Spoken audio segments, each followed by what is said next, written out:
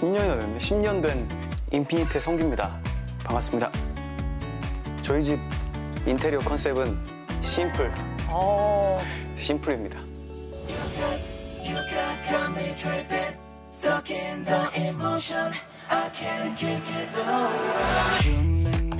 오, 어우, 깔끔하네. 어, 깨끗하다, 깨끗해. 사실은 요즘에는 아, 이제 어머니가 왔다 갔다를 하세요. 그래서 어머니의 손길로 인해서 많이 깔끔해지고 있어요. 깔끔하다. 울때 네. A4 용지 좀 사.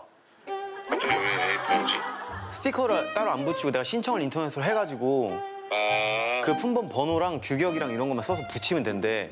오케이, 오케이. 그러면 그거랑 예, 그거 테이프로 붙여야 되니까 예, 예.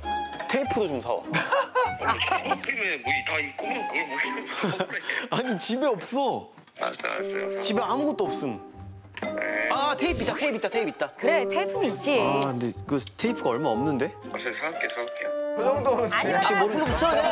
약간 돌려가지고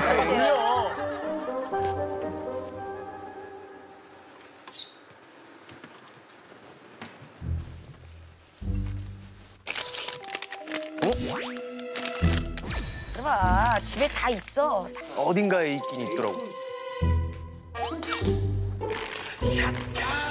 아 그만해 아, 아 그만해 아.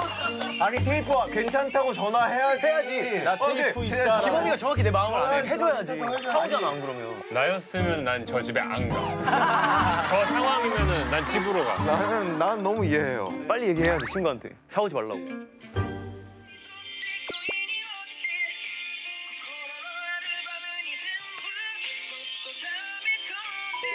있네. 그래 여기다 써도 돼. 아니, 왜, 왜, 왜, 왜 A4? 아니 아니야. 테이프가 있고 예. A4 용지가 없어도 내 거 노트에 써서 그걸 붙이면 되지 않나? 아니, 그래도 형 할 거면 제대로 해야지. 노트는 막 비틀고 있잖아요. 일단 갖고 가볼게요, 그러면. 노트에 써도 될 것 같긴 한데. 아. 친구네 친구야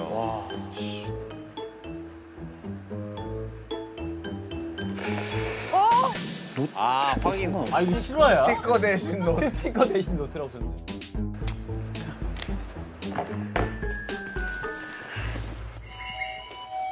어, 왔다, 왔다. 친구 왔나 봐.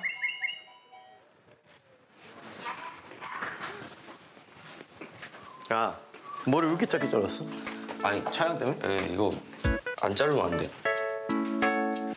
어, 미, 민석 씨네. 어. 아, 배우 김민석 씨?